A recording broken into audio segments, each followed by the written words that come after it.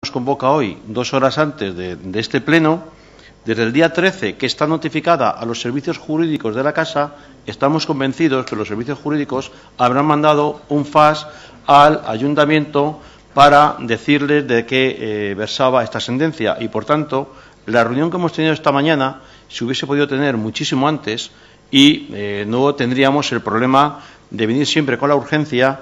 Diez minutos antes de empezar el pleno tiene que ir el secretario a llevarnos la propuesta y el informe de esta propuesta, que desde aquí, de luego, queremos dar las gracias a los servicios técnicos de esta casa y al personal de la casa por, lo, por la rapidez y la agilidad con la que han preparado la documentación para traerlo, para traerlo al pleno, pero ya está bien, ya está bien una cosa que es extraordinaria como es traer un punto por urgencia, lamentablemente en este salón de plenos se está convirtiendo en lo normal.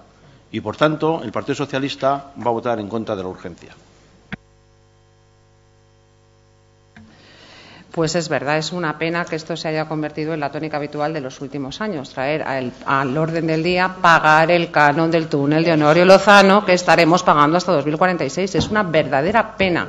O sea, ¿no sabe usted lo que nos repatea a todos tener que pagar el canon del túnel de Honorio Lozano, que ninguno de los que estamos aquí, por cierto, queríamos construir?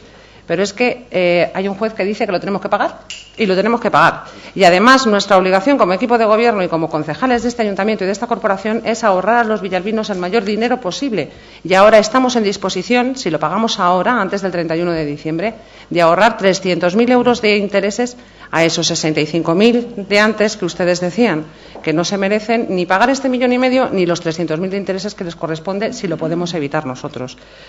Pueden pensar ustedes que somos unos ineptos, unos negligentes, unos involuntarios y no sé cuántas cosas más que nos han llamado. Pero vamos, eh, coincidimos todos en que nos trae por saco traer este punto del orden del día, ni por urgencia, ni sin urgencia, ni medio pensionista. El Partido Popular votará a favor de la urgencia de este punto. Se somete a votación, votos a favor, votos en contra, abstenciones. Queda aprobada la urgencia de este punto con los votos a favor de Alberto Sánchez Caballero, el Grupo Ciudadanos y el Partido Popular la abstención de Izquierda Unida y el voto en contra del Grupo Cambiemos Villalba y el Partido Socialista. Punto del orden del día. Propuesta de aprobación de la modificación presupuestaria para dar cumplimiento a las medidas cautelares 372-2015-01, procedimiento ordinario del Juzgado Contencioso Administrativo número 33 de Madrid. Señor portavoz del Grupo Popular. Sí, bueno, eh, eh, ya hemos hablado de esto hace un rato. En este caso, solo hay que cambiar el año. En vez del 13, pues es el 14. Eh, miren ustedes, eh, en el tiempo que llevamos, el, las sentencias del canon, porque siempre hay que debatirlo en vía judicial, el hecho de que la concesionaria no admite que ya hemos ganado en los últimos años, que como ya he dicho, que el IVA va eh, incluido dentro del, importe que ellos reclaman. Eh, normalmente estas eh, sentencias, si ustedes un poco hacen un poco historia, tardaban bastante en llegar aquí a este ayuntamiento y sorprendentemente esta que no estaba prevista. Bueno, y entonces no es, difícil el, poder prever algo que no, que, no, que, no se tenía en cuenta. Lógicamente, una sentencia judicial que entra en el año, eh, que es un procedimiento del 2015 y que ya tenemos el, eh, la sentencia, pues no entraba dentro de de, de, de, las previsiones. Aparte que eh, hay otra cosa más, y es que eh, es una medida cautelar que otras veces pues, ha podido debatir en otros juzgados e incluso eh, se ha podido conseguir. Entonces, hombre, yo entiendo que la queja pues puede ser porque uh, es como un poco de urgencia, pero está más que justificado. Y la justificación es que eh, analizado el estado de ejecución del presupuesto del 2015, pues ha encontrado, a Dios gracias, un crédito suficiente como para poder hacer frente a este, a este importe, eh, poderlo encajar en el presupuesto del 2015, con lo por, por, lo tanto no va a agravar ni va a penalizar el presupuesto del año 2016, permite por otra parte, el ahorrar intereses, que creo que es fundamental. Permite, por otra parte, que no se inicie ningún procedimiento de embargo de los terrenos y bienes patrimoniales de este ayuntamiento. Eh, y, por lo tanto, eh, creo que son razones más que justificadas y sobradas como para que eh, todo el mundo hubiera votado a favor. Y ya que el, señor Morales haya votado en contra, pues, sinceramente, cuando esto es su, esto es el hijo que ustedes parieron en su momento, ¿no? Eh, entonces, no lo entiendo. no, no, no, puede ser por mucha urgencia, ¿no? Pero oiga, es que mm, esto lo firmaron ustedes. Entonces, lo asumimos nosotros, no hay ningún problema. Pero, sinceramente, votar en, votar en contra, en fin, imagínese que no hubiera salido hasta adelante. Pues nada, vamos para adelante, el procedimiento de embargo y tal y cual. ¿Eh? Entonces, yo lo que le digo es que yo eh, queríamos que íbamos a tener su apoyo. Es sorprendente que no lo tengamos, pero bueno. Eh, en todo caso, eh, yo creo que, vuelvo a repetir, está más que justificado. Y a veces, a veces hay que tomar estas decisiones. Yo no me voy a meter en otros aspectos de, la gestión de este equipo de gobierno, pero en este, en este tema en concreto no se puede alegar a otros temas. Hay que centrarse en este. Y este viene como viene.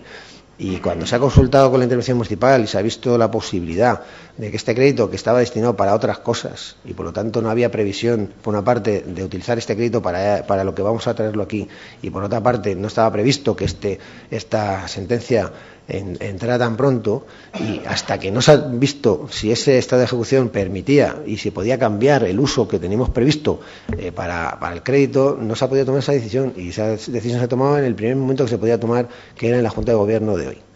Eh, dicho esto, mm, no queda más que decir lo que hemos, comentado antes, y es que mm, eh, no queda más remedio que hacer frente a las eh, resoluciones judiciales. Y es una obligación por parte de este ayuntamiento hacerlo y nos guste o no, nos frustre mucho y bueno, ya hemos comentado esta mañana el que, vamos, eh, muchos de los concejales que estamos aquí, o algunos, hemos estado, nos mojamos incluso en aquellas dos más famosas manifestaciones, bueno, pues hay que asumir la responsabilidad y a veces hay que tomar decisiones y hay que tomarlas así de pronto. No nos gusta a ninguno. Eh, en todo caso, lo, eh, lo que digo y he dicho antes es que esto no tiene mucho recorrido o se paga y se busca cómo en, este crédito, o sea, esta, esta duda, cómo meterla en los créditos del presupuesto de este año o del que viene, o las consecuencias son mayores intereses a pagar, el procedimiento de embargo que ya hemos tenido varias veces de bienes patrimoniales. Eh, creo que si uno analiza y pone la balanza los pros y los contras, realmente, aunque sea por un procedimiento de urgencia, yo creo que está más que justificado eh, la modificación presupuestaria para eh, que este crédito haga frente a la sentencia del 14 y fíjese el salto que damos cualitativo en un tema que nos va a tener aquí preocupados hasta el año 46 y es el pago del canon.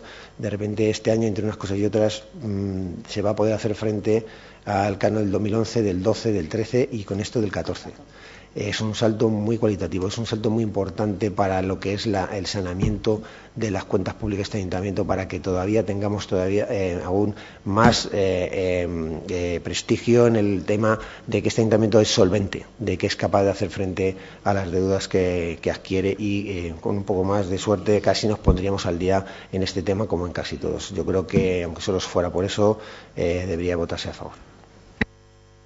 Muchas gracias. Para su turno de palabra, Alberto Sánchez. Votaría a favor. Muchas gracias. Izquierda Unida tiene la palabra. Sobre este tema creo que mi compañero Mariano Gómez ya ha explicado en los puntos anteriores nuestra postura y no, ha cambiado. Y contestando al concejal de Hacienda, porque me he sentido un poco aludido cuando ha dicho que se ha hecho referencia a otros temas, eh, yo lo he expresado eh, para justificar la, lo cutre que me ha parecido traer este asunto de, urgencia.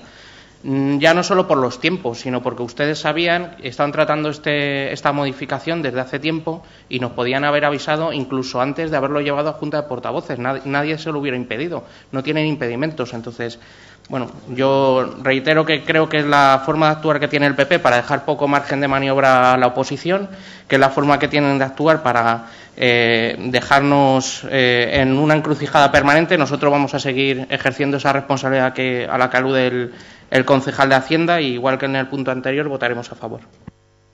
Muchas gracias. Tiene la palabra el Grupo Ciudadano.